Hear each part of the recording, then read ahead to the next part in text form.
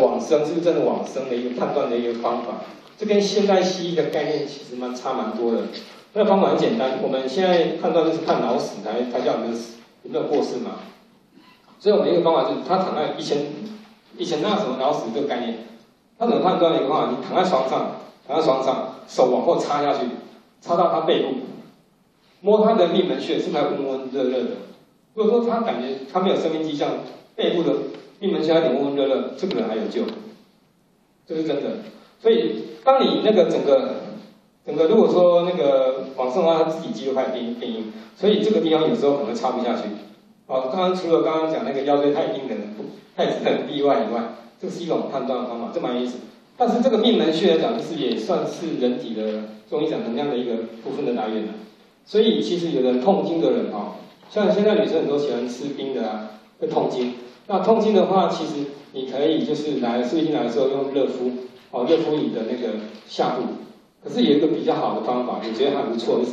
你用那个热敷袋，啊，暖暖包，你热敷你的命门穴，就在脊椎，就是两个这呃肚脐正后方。命门穴的话，热敷下去其实效果有时候会比你在下腹部这边热敷效果好。然后你看现在大家还是很多人就是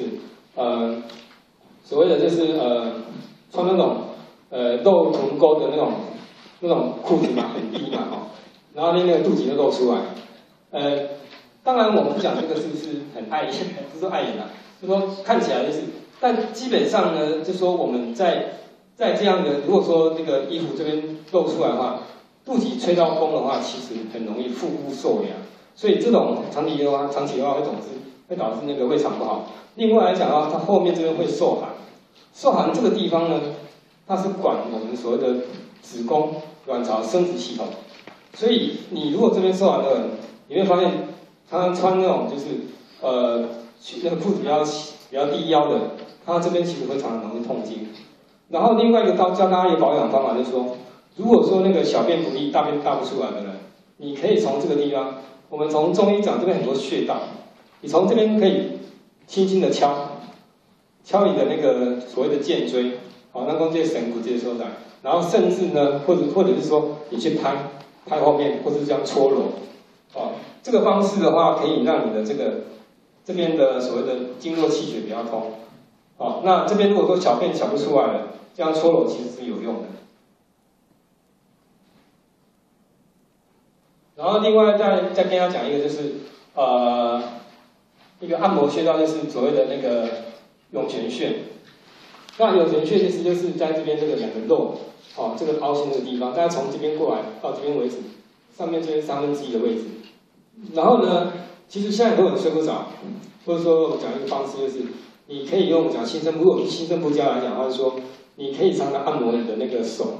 用手按摩，用你的比如说你的左手左手的那个掌心，掌心的是劳宫穴，哦，是属于心的部分，心是是属于心火。然后呢，你去按摩对侧的那个脚掌的涌泉穴，这样摩擦按摩，就有点有点像中医讲所谓心，让它心肾心肾相交，所以让你的心神沉定下来也会比较好睡。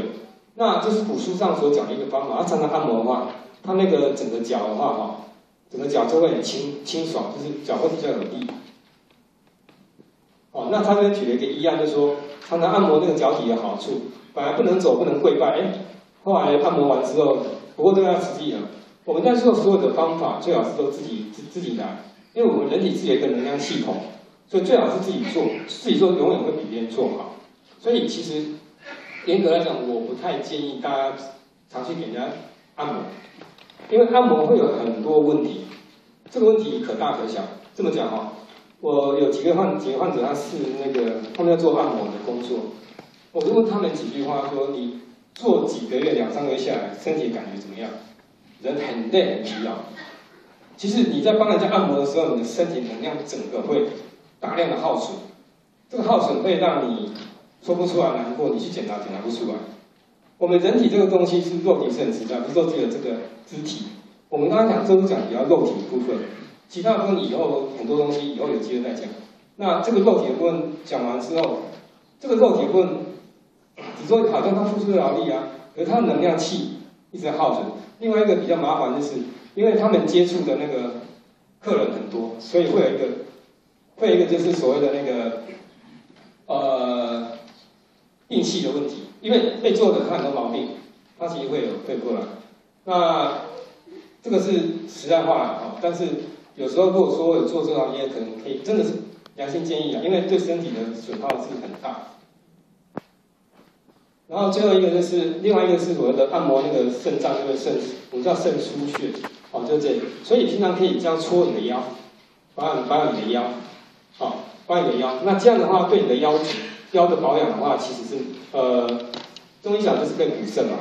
啊，所以这这个来讲，对大家保养肾脏的一个方法也是蛮有用的，啊，这平常是可以做的。然后呃，我想在最后再讲一个一个比较大家常。常见的，呃，就是所谓的那个看电脑会眼睛会酸涩疼痛。那这个方式哦，我教大家一个比较好的方法哦，